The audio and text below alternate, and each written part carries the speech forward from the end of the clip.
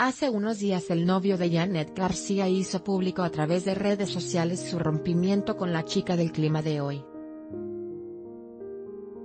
Según Douglas Martin decidió romper con Janet para dedicar tiempo a los videojuegos, pues se acercaba un torneo de Call of Duty en el que el gamer iba a participar y no tendría el espacio suficiente para atender a su novia. Janet comentó para el programa hoy que se sentía triste, pero tranquila con la ruptura. Me siento tranquila, obviamente fue algo que no me esperaba soy ser humano, hubo dolor, todavía estoy con días difíciles, pero estoy tranquila porque fue una relación muy bonita. Yo creo que también los dos tenemos sueños muy grandes, estamos en una relación a distancia, es muy difícil y, realmente, no lo juzgo, al contrario, yo creo que está en busca de sus sueños, va por ellos y yo le deseo todo el éxito, ojalá que gane su campeonato que las cosas se vayan acomodando solas.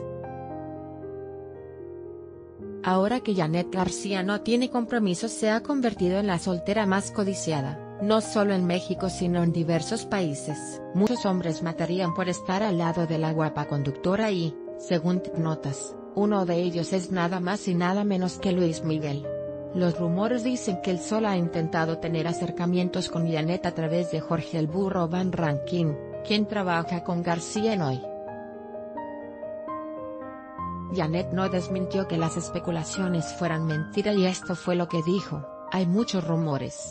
No te puedo confirmar algo porque no ha venido él directamente a decirme algo.